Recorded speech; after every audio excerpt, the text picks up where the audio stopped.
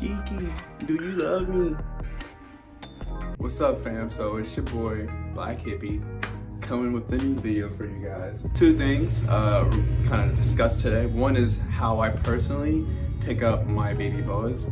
Um, I've been seeing people like on online, on Facebook groups, uh, kind of just talking about like how they personally uh, handle their snakes. Uh, a lot of people were kind of talking about how they're afraid.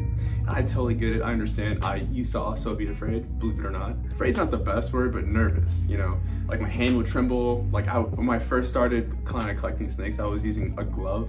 So I would use a glove to pick them up, and then one day I was just like, you know what? I don't need the glove. And I put the glove down, and lo and behold, like I came, I became more confident. Uh, and so it's a great feeling. I feel uh, handling snakes is it's quite rewarding when you conquer that fear and then you begin to feel like more confident. And so I just feel it's kind of cool because it transcends into like your personal life, your social life. I feel like handling snakes, it honestly, it boosts like my confidence that much more. So let's see. Like I said, today we're gonna do two things. Uh, first, I'm gonna pick up one of my boas and just show you guys how I personally pick them up. Uh, some people use snake hooks. I used to use snake hooks, but because I have babies, I did some research on that, and then I don't know, it came up. It I found something somewhere. It came up. It was saying just be careful using hooks with babies because you know they're really sensitive and their ribs are pretty fragile, so it, you can easily break their ribs. So that's something I heard, and so I was just like, okay, I don't want to do that. That doesn't work for me. So uh, you know, I stopped using the hook with them. I only use the hook sometimes for, for my ball python, but even now, like I, I feel like I'm not using the hook nearly as much as I used to use them. Um, sometimes I'll use it like if I have to reach in to, you know, move something around and I don't want to get bit, you know, because I'm putting my hand inside the enclosure. I may like kind of, uh, how would you say, kind of wedge or, you know, uh, kind of gently tap their nose and just kind of like prevent them from like biting me. And I can do whatever I got to do. Uh, so a couple people, or there's one method this one guy does, it's called the flat hand. I personally don't like that method. I feel like, me personally, I feel like you're scaring, you, I feel like you end up scaring them and you make them a little bit more defensive. So once you pull them out, I feel like because you did it in such of a way, they're on guard. And so I personally don't like to do that. I was doing that before with my ball python and I realized that it, all it did was just make him more defensive once I got him out of the enclosure. So uh, long story short, what I, I, typically do is I just grab them from behind. It's that simple. Uh, the midsection of their body, I just grab them from there and I just pick them up. So let's get down to it, give you guys the example, and let's do it. So you, can't really see her head, but she's kind of buried. She's right there.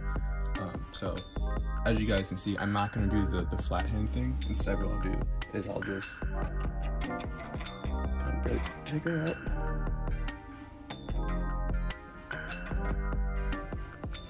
And just confidently grab her, just like so. And they're usually pretty chill.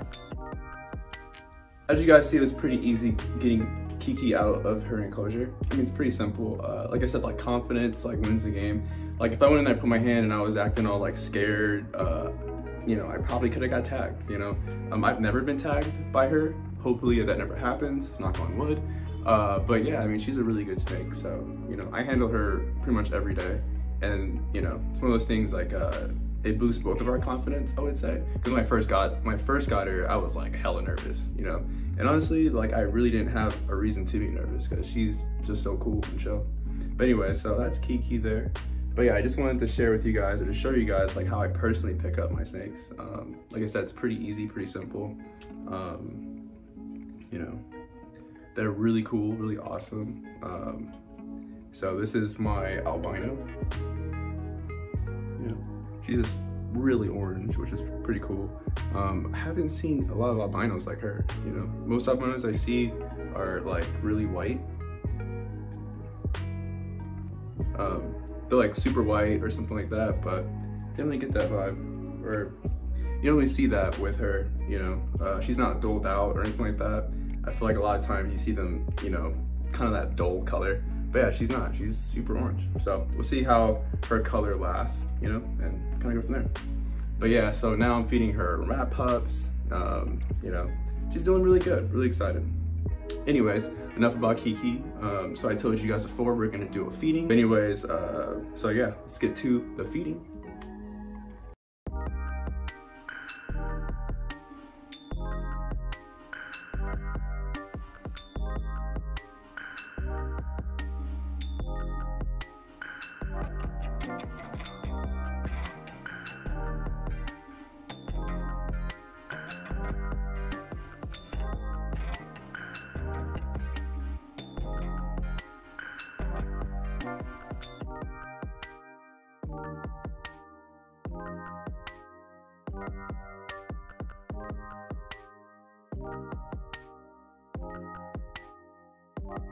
Música